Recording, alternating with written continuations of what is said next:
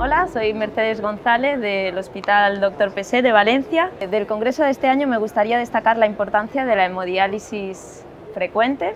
Como sabemos, eh, los pacientes en hemodiálisis de esquema intermitente eh, experimentan grandes cambios de volumen y esto se puede relacionar, se puede traducir con inestabilidad hemodinámica, episodios hipotensivos, calambres, cefalea durante la sesión de hemodiálisis, incluso en algunas ocasiones nos llevan a retirar fármacos que pueden ser cardioprotectores.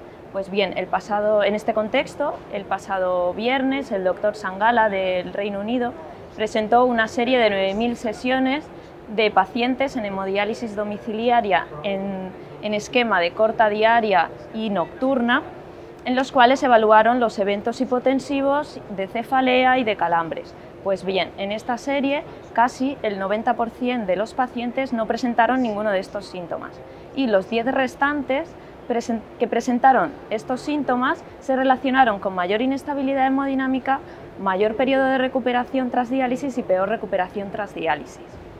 Así pues, podemos concluir que esquemas de, esquemas hemodiálisis más frecuentes se pueden ver relacionados con mejoría del control de la tensión, mejoría de la hemodinámica, que esto puede permitir incluso eh, introducir fármacos cardioprotectores y sobre todo eh, reducir la sobrecarga de volemia que puede implicar el fin de semana.